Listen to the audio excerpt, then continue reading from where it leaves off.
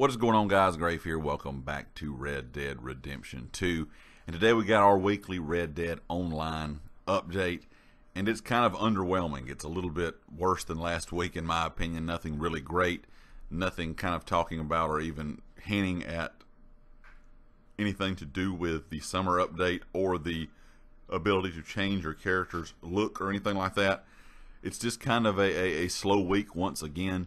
There will be a few things that you probably will want to take advantage of. They say uh, merchants will be giving away free gun oil. They did not say how much gun oil you can get for free. Also, all weapon components will be 30% off, so that's improved rifling, iron sight, scopes, stocks, wraps. Also, the Evans repeater will be 25% off. They said Patriots can take advantage of the 50% off red, white, and blue bandanas, plus free red and blue camp flags through July the 8th. So this is kind of their 4th of July theme, I guess, for this week. Also, if you do any free roam missions during the week, you will get a 30% bonus of Red Dead cash and you know for doing the mission and XP for any free roam mission completed.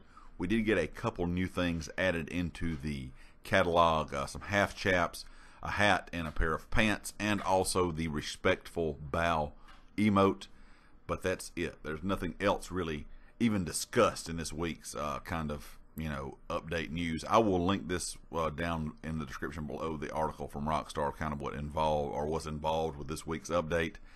But once again, it's kind of disappointing. I'm hope I'm really hoping that this week and last week these slower updates are kind of preparing for that big summer update because I know a lot of the community is starting to wonder what really is going on and how long it's going to be before we get any big kind of significant thing brought to the game. Uh, so guys, leave me a comment. Let me know your thoughts. And of course, if you like the video, hit the like. If you have not subscribed yet, please do so. I'll catch you next time. Peace.